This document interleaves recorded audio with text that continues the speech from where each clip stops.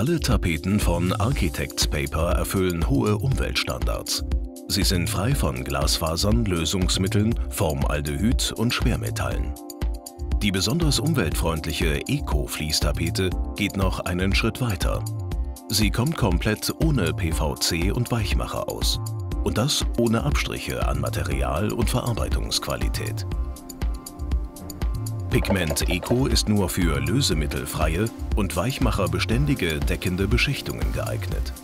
Verwenden Sie dünnfilmige Farben mit einer langen Offenzeit. Eine Farbempfehlung erhalten Sie von Ihrem Groß- und Fachhändler.